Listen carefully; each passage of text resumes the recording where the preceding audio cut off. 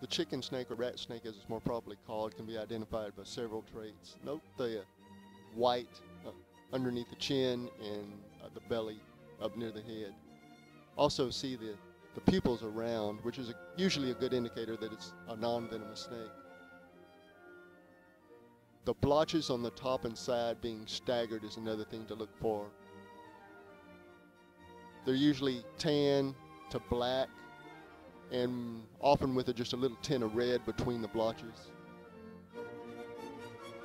I would say six feet is about the typical length on them, seven feet's max. This one here is around five feet.